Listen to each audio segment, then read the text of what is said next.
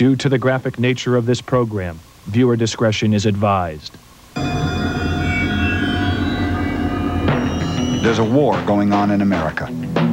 A hidden war between citizens and criminals. The violent and the vulnerable. The strong and the weak. There's a new weapon in that war, the video camera.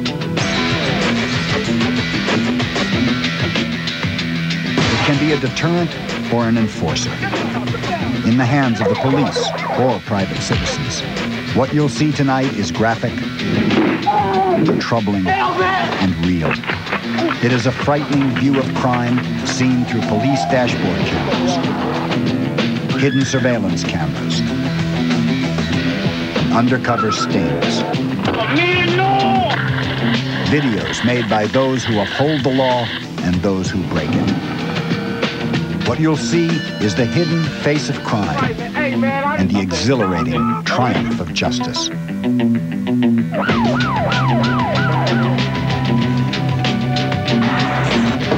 Technology and law enforcement united to even the score.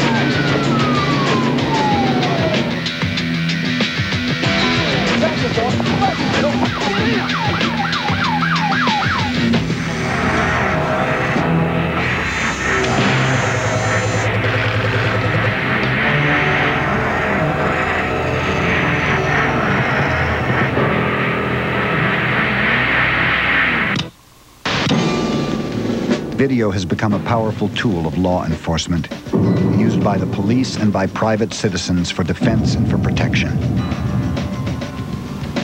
Criminals have learned that the camera leaves them exposed and vulnerable. They know they're being watched.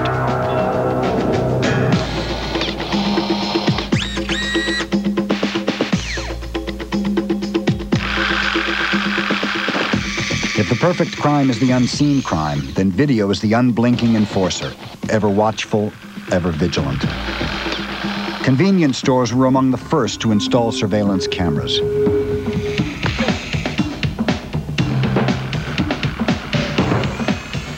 No one, not even a police officer, is more vulnerable than a convenience store clerk. Orlando, Florida. How many there? Two dollars a piece. Uh,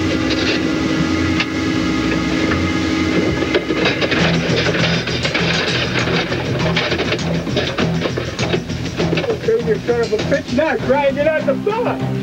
An elderly clerk, alone and unarmed, goes one-on-one with a deranged thief. His only witness is the video camera. Vice locks the door, trapping the thief inside like a caged animal. The clerk calls the police. Uh, this is the Yamato. I got a nut in this place. Tearing the joint apart, tearing everything up. Okay, thank you. You're on your way to jail. You're making it worse for yourself. The cops are on their way. Yes, he's inside. I gotta watch this. He's dead yet. The thief finally smashes his way out. Surprisingly, he is caught by a passerby. His declarations of innocence dissolve when police show him videotape. He is convicted. Melbourne, Florida. A surveillance camera captures a ripoff in progress.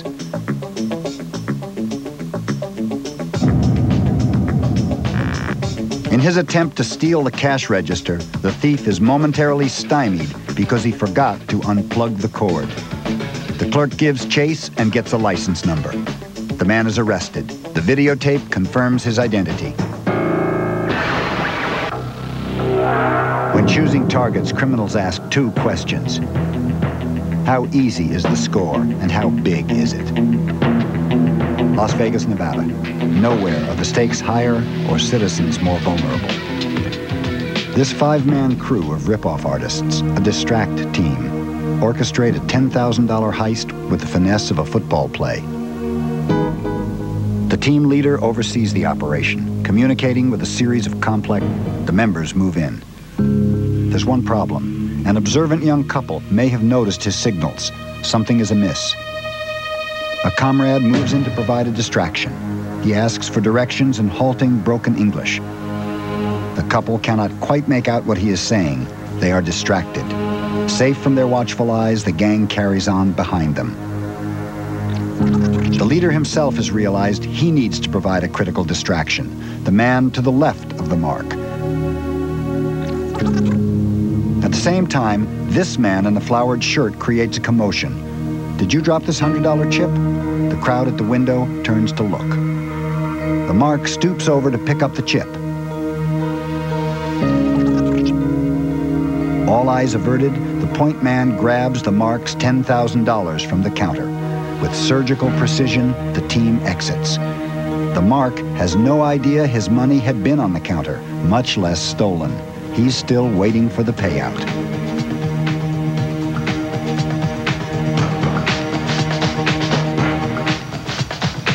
Because of this video, the gambler was reimbursed by the casino. The thieves were later caught.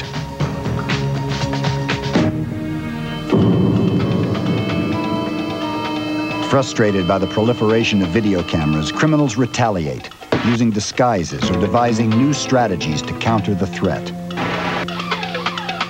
West Palm Beach, Florida. A burglar breaks into an appliance store. Conscious of the video camera, he has masked himself. But the disguise is inadequate. His distinctive nose and glasses lead to his being recognized as a former policeman. The ex-cop is currently doing time. San Bernardino, California. A gang, posing as Valentine's Day shoppers, inspect merchandise in a jewelry store. Without warning, one of them pulls a gun.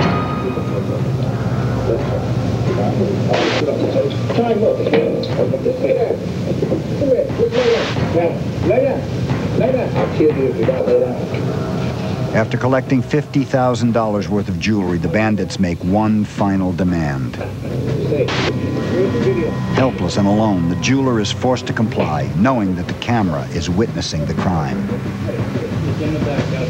You got the video? Get, the camera. But the tape is a dummy.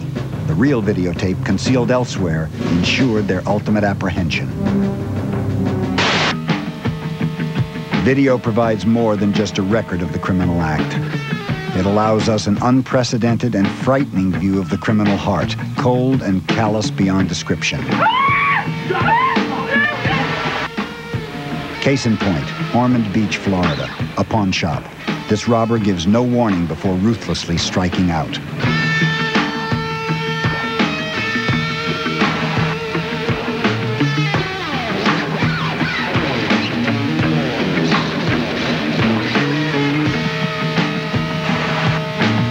Amazingly, the seriously injured store clerk was able to wrest the bat away and chase the thug out the door. Police arrested him two hours later, and the videotape provided positive ID. He pled guilty. Sarasota, Florida.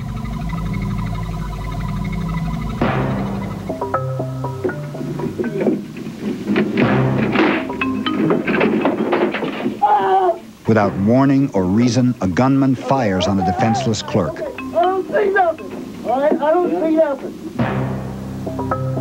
Videotape reveals his assailant's shocking disregard for human life. The clerk survived. The robbers escaped with $23. West Palm Beach, Florida. A customer enters a jewelry store. Sensing trouble, the owner is jumpy and suspicious, with good reason. Two years earlier, robbers overpowered and maced him, escaping with several thousand dollars worth of jewelry. This videotape led to their apprehension and conviction. Since then, the jeweler conceals a semi-automatic pistol on his belt behind his back. What occurs next is terrifying. The robber pulls his gun, the store owner his, but the safety is on. The jeweler cannot fire.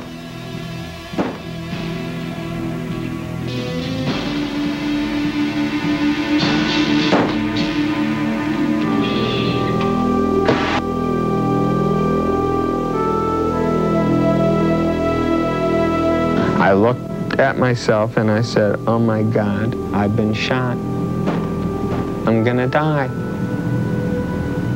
I can't die. I have twin two-year-old little girls. And there he was, just running to the door after he unloaded his gun on me. And then I see that he's coming back towards me. He comes running back into my office and put his gun to my head and says, give me that watch. And I said, take my watch. Please don't kill me. And he took the watch, put the gun back to my head, and pulled the trigger. He thought he had another bullet in the gun. And when he realized his gun was empty, he turned around and ran to the door.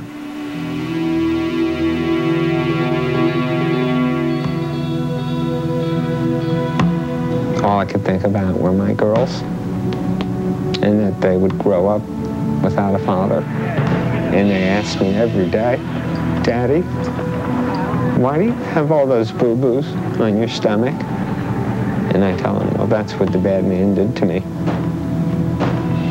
And they say, Daddy, why are you crying? And I tell them, that's what the bad man did to me. This brutal criminal, a potential murderer, is still at large. The best hope for his capture is this videotape. If you know who he is, contact your local police. He should be considered armed and dangerous. Coming up, three desperate fugitives take down a cop in a horrifying act of violence, caught on the officer's dash camera. Arrogant vandals tape themselves, destroying everything in their path. Ruthless criminals film their terrifying rampage of violence. Are you a lawyer? Garris.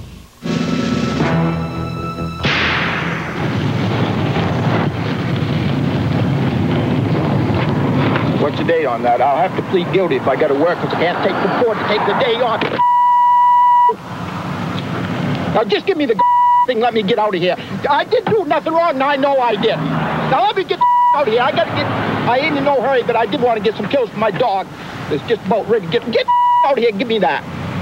Can I explain it to you, sir, so you'll know what you need to do? I know what I do. You're ripping me off, and I didn't deserve it because I didn't do nothing wrong. You're probably sitting on parking lot driving right back and forth get someone in the 40 miles of whatever it is. I never saw the sign. I saw it 55, and I was doing 57. That's all I know.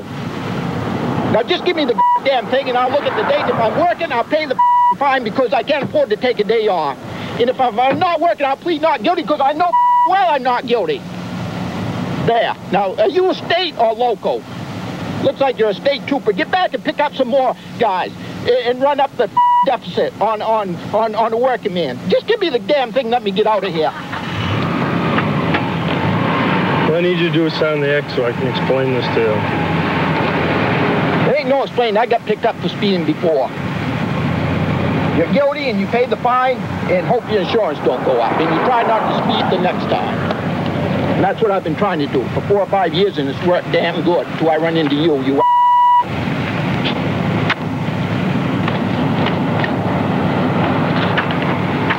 Green copy's for your record, sir. I don't, all right.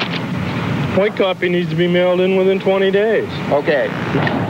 Read the back of this hard copy. This will explain how you can have a trial if you want one. On the back, that'll explain it. Attaches an envelope. See? Put a stamp on that, you mail that in. I don't They'll mind tell the you what to do. Well, I can afford the stamp. The fine's right here, sir. It's $137.50. You're crazy! Ah, ah, I get it! You're crazy! My wife took money out of her damn account where she's working to pay my insurance so I wouldn't get picked up. You're crazy! If you don't pick this up, sir, I'm going to summon you for littering. I'll pick the a hundred. Are you crazy? I wasn't even speeding, you damn. A hundred and some dollars. Right. There's some more right there. I've never heard of a fine like that in my life, you damn. You.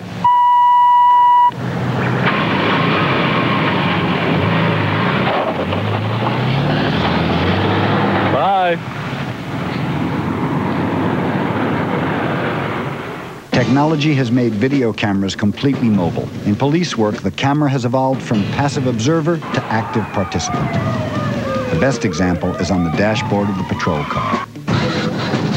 The camera has been extremely helpful to law enforcement. Now the jurors are able to actually see what these officers are talking about or what other witnesses are talking about. There is no lying on anybody's part because the video shows exactly what happened.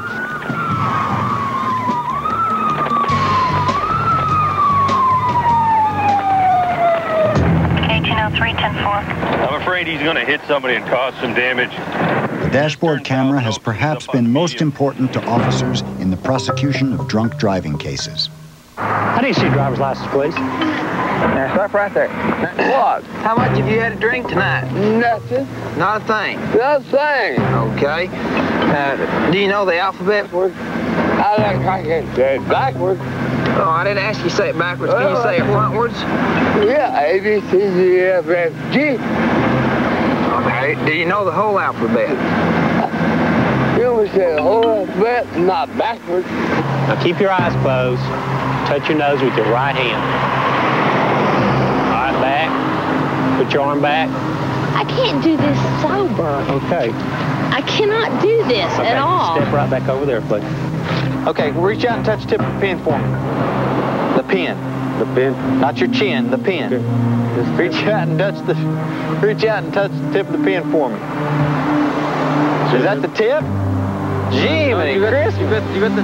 the results of a lot of that video footage uh, as it relates to drunk driving cases. Uh, many times it's very humorous. 626.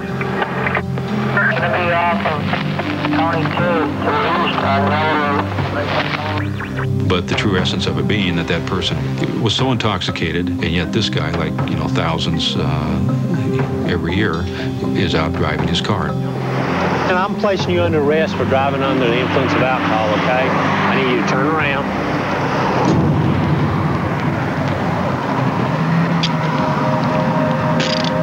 Is no such thing as a routine stop. All officers are trained from the beginning to treat every situation that it could be a volatile situation. Here, This is a South Carolina Highway Patrolman, and this is probably the most shocking tape that all the law enforcement officers that scares them the most. 30 or 45 up there. But that same time is going to be the one that's going to be on this going to be on. And what he does is he goes down and, and chases, and with the help of citizens, catches that vehicle.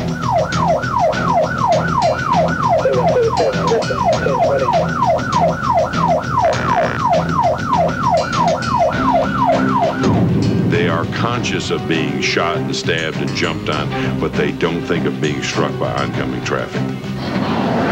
Sir, I ask you to wait right here, okay? Okay.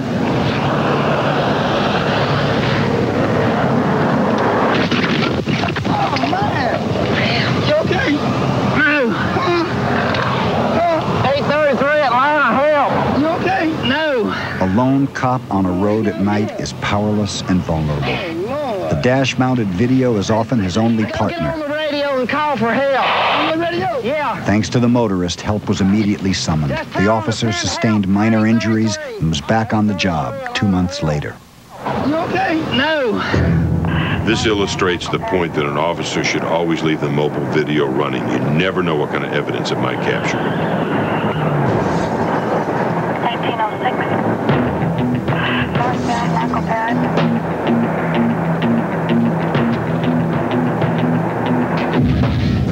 any police officer in any jurisdiction makes any stop of a person, it's the fear of the unknown which runs through their mind, which runs through their emotions. Because when they stop somebody, they don't know who that person is. They don't know what crimes may have just been committed and what this person is willing to do to keep from getting captured. This is Constable Darrell Lunsford from Nacogdoches County, Texas. And what Darrell did was face a very volatile situation alone on the side of the road without any backup, without any assistance other than the video camera that was mounted on his dashboard. Give me ID. Give me ID on you. No, sir. I'm with uh, my brother. My brother has the ID. I was up in them racks. Do what? I was up in them racks. Okay, you don't have a driver's license? Uh, yes, I do, but I didn't bring it with me. Got me looking at the trunk. Got me looking at the trunk. When the suspects opened their trunk, the officer was overwhelmed by the scent of marijuana. It was now essential that he rigorously follow police procedure, but he did not. No, see, he's got the license with it. They did what we would call a classic prison takedown on Constable Lunsford. They attacked him one low, one high, and they were able to knock him off his feet.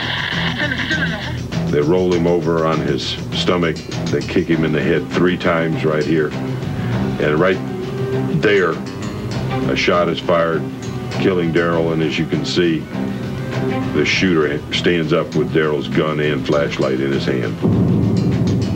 He never had anybody ride with him. He never had any backup unit. And we built uh, by hand the mobile video system that is in his car at this point and the one that actually recorded his capital murder.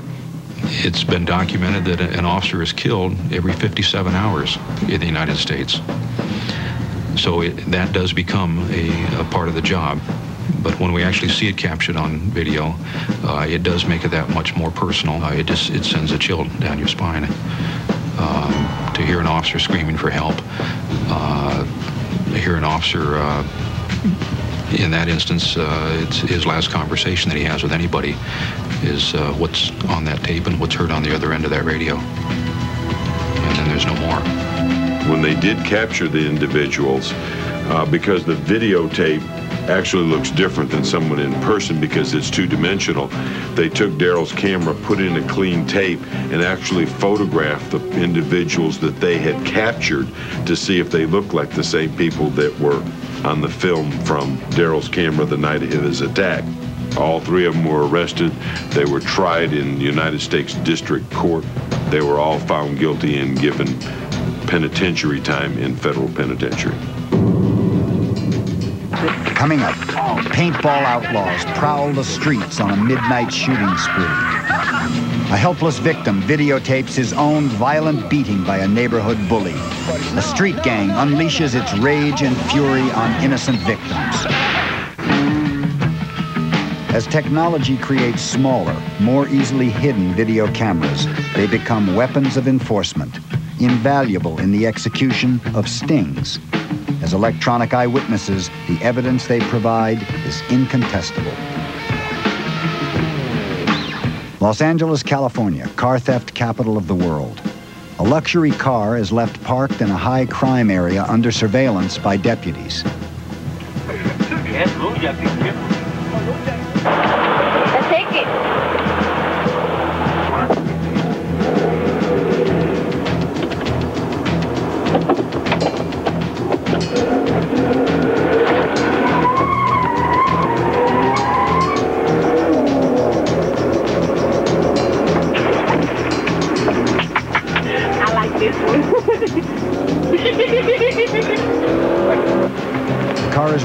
Not only with a hidden camera, but with devices to shut off the motor and lock the doors 15 seconds after the theft.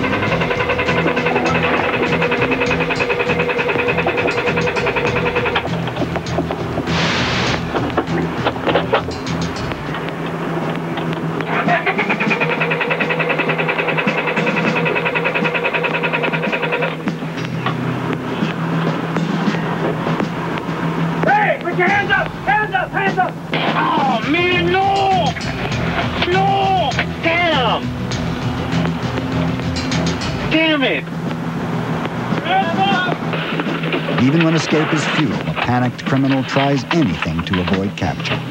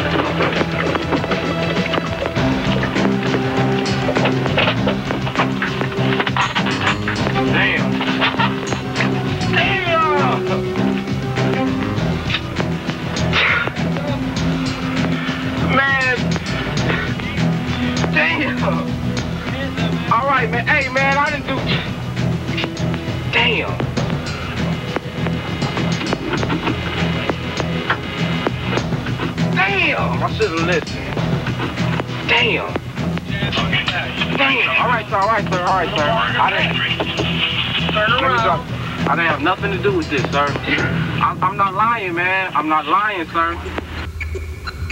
La Crosse, Wisconsin. A woman hires a man to commit a crime. What she does not know is that he is an undercover cop and that he has hidden a matchbook-sized video camera inside a hat lying on the dashboard. Nice hat. I like that, huh? Yeah. I want a hug to make sure you're not wired. You want to hug me to make sure I'm not wired? Uh-huh. Okay. There you go. You. All right. We all got to be safe, don't we? I agree. I understand you want me to do some work for you. That'd be really nice because, um, first, um, we got married June 29th. Who are we talking about here? My husband, well, my soon-to-be ex-husband, I hope. Um, he won't give me a divorce. He won't support me. And he's just kind of being an all-around. He beat me after we've been married three months. Beat me until I was in hospital. And no man will do that and get away with it. I'm sorry. I, I love me too much for that. And that's who we're talking about. So you're talking about your husband? Mm-hmm. I guess what do you want me to do to your husband, Carolyn? I don't want him on this earth anymore. What are we talking about? When you, you know, that doesn't mean anything to me. I, I know lots of people that say those things. Do you want this guy beaten up or do you want me to kill this guy? I want him dead.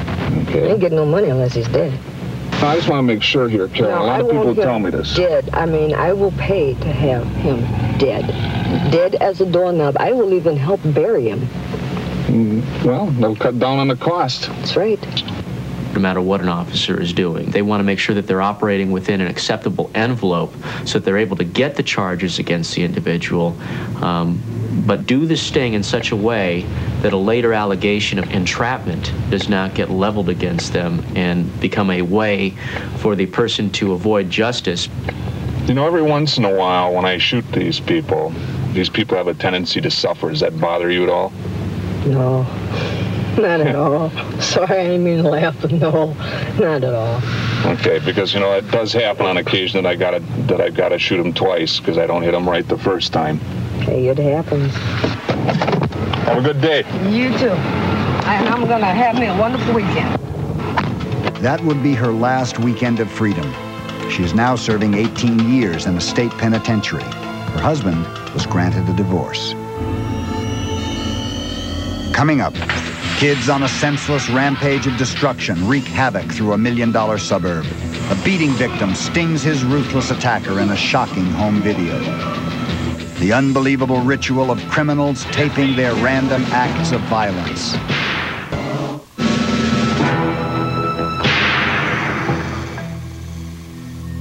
Chicago, Illinois. Here, the video camera takes us into a world of crime beyond imagination. An undercover inspector acting as a fence for stolen postal checks sets a dangerous trap. To save his own life, he must use the only language this criminal understands. This scene may play like Goodfellas, but it is dangerous and real. You know what? You give me all your money, I'll blow your head off right now. Give me. Give me the money. You want the money? Yeah, bitch. All right. Right now. You got it. You money? You got it. And you call and you call- man, give me that. All right, you you got, you got Find the car and take me out of here. Take All me right, out of hold, here. hold on just a second. You I'm not gonna shoot you, bitch, but you're gonna take me to Potomac, okay? To Potomac, where? What? Potomac and Austin. I'm going to dope deal, okay? All right, hold on. Just hold on for a Just second. turn the car before. All right, all I'm doing is I'm talking to you for a second, okay? Yeah. So just be cool for a second and we'll talk Man, shut about the f- up and move the f- car before I shoot you in the stomach. You got it. You want to move? Yeah, we're moving, bitch. This is a federal case. These checks. Who the think you with, bitch? With Well, nobody. get reverse and get the out We'll of Get the f- out of here. Just point that thing away from me. You're making me. Nah, I'm gonna put it right here. That's it. Let's just go, man. You're gonna shoot me. There's Nah. gonna be a million. I don't give a. I'd rather have that than the federal case, bitch. Then just point that thing away from me. That's all I want. You point. up. No. Point the thing away from Hurry me, up, I'm bitch. cool, all right? Put your hands that way, boy, because if you even dare get this way, let's go, The man. agent, wired for sound, is buying time, waiting for his backup. Stay cool, all right? Put your hands away. One false move, and he is dead. All right, Let's put that go. gun. Oh, Let's wait, go. Mike said you were cool. Let's go, man. Please man. don't point that I'm gonna gun. shoot you, bitch. Man, you getting You're- me mad. And you're getting me mad. Just Well, point let's the thing. go. I don't. I got it in my arm. If it's gonna shoot, it's gonna shoot through my arm and through your body, all right? Okay, you got that. All right, then. All right, then. Just stay cool, all right? Just stay cool. Okay. okay. All right, you bitch, get out. Get the f- out. San Jose, California. Bill Kiley suffered repeated harassment from a young neighbor. Kiley lived across the street and also owned the house next door. My tenants are gay. I'm gay. Um, we felt this hostility. Tires started getting slashed and spit was on the window of the car. Eggs were thrown at the house. I just tried to keep a distance, stay away from it, avoid the problem. When I went to an attorney, the attorney suggested that either you have somebody with you at all times or get a camera and catch them in the He set up a camera in his front window, then crossed the street to water his lawn. Now the bullying neighbor approaches and taunts him. He started moving forward. Then he started calling me names faggot, queer, whatever he could to get a rise out of me.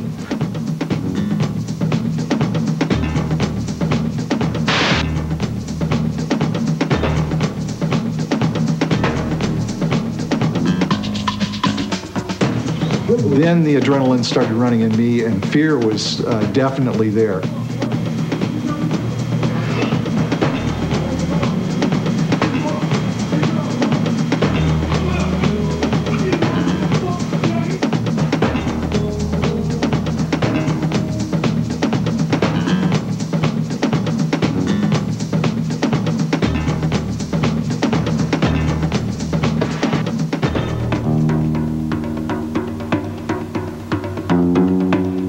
Nobody in the neighborhood, nobody that was watching this did a thing.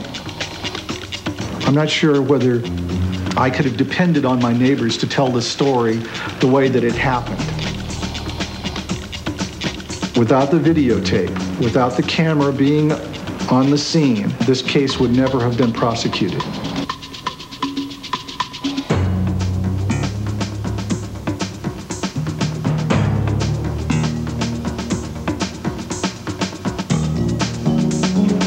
Would have been their word against my word. And interestingly enough, their word changed after they saw the videotape. Because of this video, his assailant was convicted and served two years in a juvenile correctional facility. Coming up, raging teens devastate a dream neighborhood in an alarming binge of destruction. Paintball outlaws prowl the streets on a midnight shooting spree. Merciless thugs pursue innocent victims, capturing their violent muggings on home video.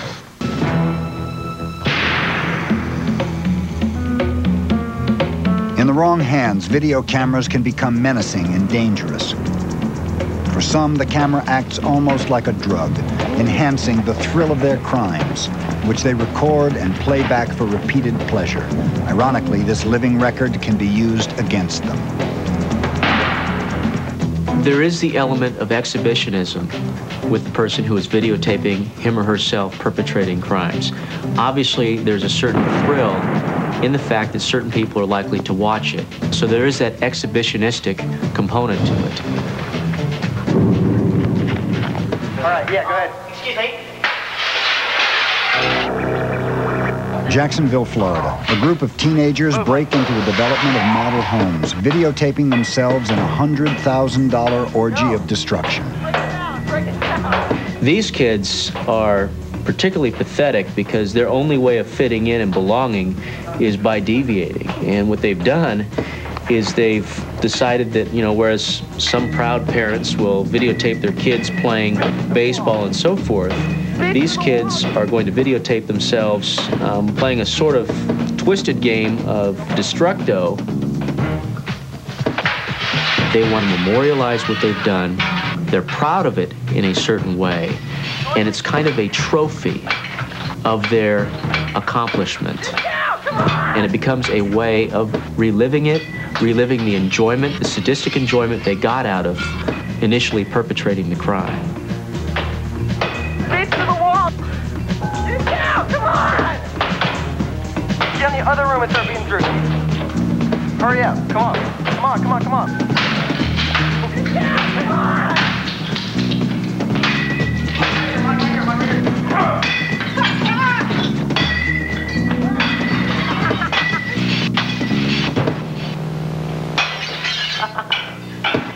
I feel down on myself. I just come and do a little bashing.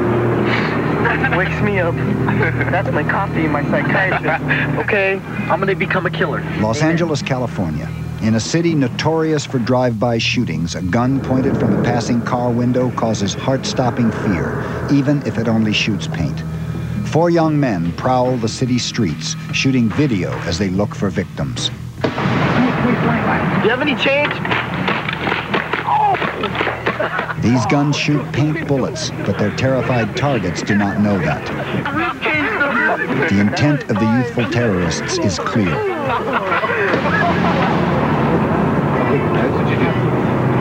For the face.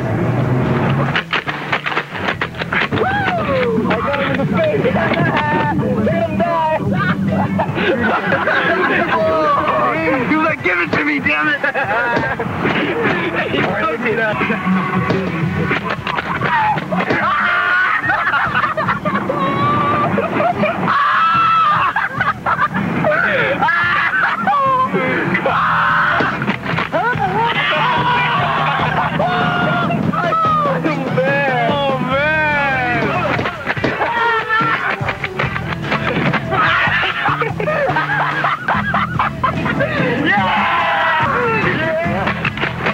joyride finally ends thanks to a passing patrol car, ironically caught in the attacker's video.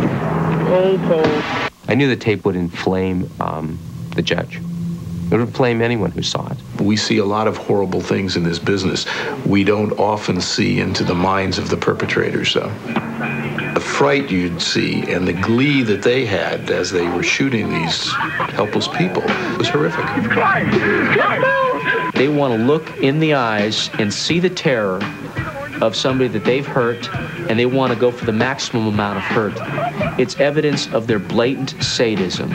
I understood immediately that the worst part about the tape is the hilarity. So the strategy was to counter the outrage, and we decided to produce our own videotape to show how my client was rehabilitating himself. So we shot him. We took him down to the Museum of Tolerance. It really brought home to me that people can be intolerant with no good reason. Why wasn't Mr. Skoblar learning to be tolerant of other people before he got in trouble? The reason I made this tape was to demonstrate to the judge the sincerity of my client's remorse. The client is trying his best to rehabilitate himself. He's a kid. It wasn't funny at all. There was no good reason to hurt those people. Give me a break. I mean, this this kid is going on videotape once again to use it for his own selfish, self-centered purposes. I mean, the first go-round was so he can get off terrorizing other people. I think it's ironic and twisted that he would try and use videotape once again to get himself off the hook. oh, you like, give it to me, damn it. It's the videotape that made it so outrageous. No one was willing to give these guys a break because of the hilarity. I think they should have done a year, but this judge sentenced them to four years in prison, and he did it because of the video. I just think this is really fun. A night of terror, seen through the lens of a criminal's camera. When video justice returns. There is a release in having power over another person for some people who are so inclined. And they get off on it. There is a rush that's associated with it. In the presence of a video camera, particularly if they're proud of what they're doing and want to showcase it, they're more likely to get a bit more extreme. They want to show off. Get over here, man. Get over here, man. Get man. Washington, D.C. Five young thugs take along a video camera to record their own reign of terror, mugging and beating innocent people. The camera seems to magnify their violence. They use it to whip themselves into a frenzy. What is shit? What you got, bro? Hold that, Get your hands up. Hold that. I got 10. Get off. I got 10. I got 10. All right, chill. Leave alone. Chill. Don't turn the brother. How you doing this? I never seen you man. I got 10. Yo, let him go, man. Y'all keep moving, man. Oh, hold, hold. Hell, man. The first victim somehow manages to get away. The second is not so lucky. Needing directions, Charles Lawson walks into hell.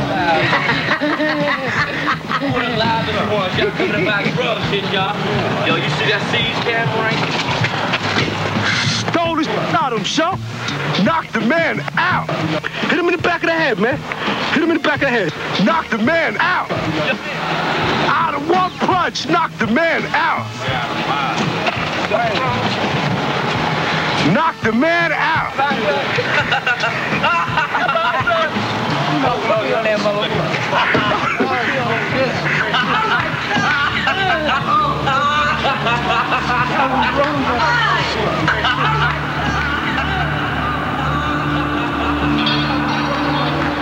Eight years later, Lawson remembers seeing the video for the first time. It was like a rerun of a nightmare. I saw someone striking me in the face. I saw myself fall back and fall to the ground. And then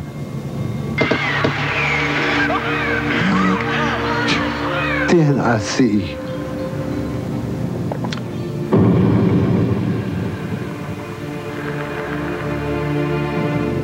took away my humanity and they put it on tape for others to see their power and show it off.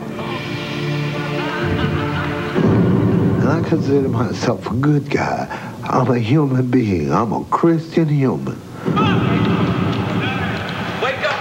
As Lawson lies helpless, the men turn off the camera, and one of them shoots him. A gun gives you a sense of power for the moment. The video gave them a sense of power for eternity. Get up, man. Get up, get up, show. Show, get up, man. No, man. Get up, man. This is straight up DC hustling.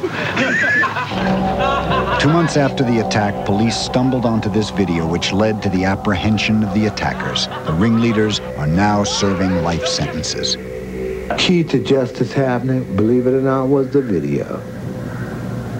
Just as the video was the key to the depth of their inhumanity, it was also the key to their ultimate conviction.